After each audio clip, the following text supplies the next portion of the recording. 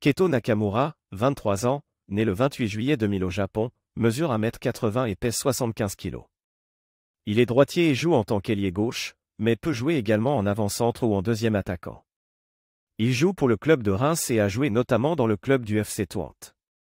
Il se distingue par sa qualité technique, sa variété de jeu ainsi que sa capacité à déborder et à pénétrer l'intérieur. Son efficacité devant le but et sa polyvalence offensive font de lui un joueur remarquable. Sur le plan statistique, ses performances sont tout aussi impressionnantes.